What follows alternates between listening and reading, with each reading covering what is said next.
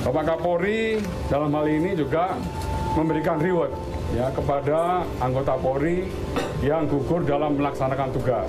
Yang kemarin dua anggota Polri tersebut sudah dimakamkan dengan cara kedinasan dan sudah dinaikkan ya pangkat luar biasa anumerta ya setingkat lebih tinggi.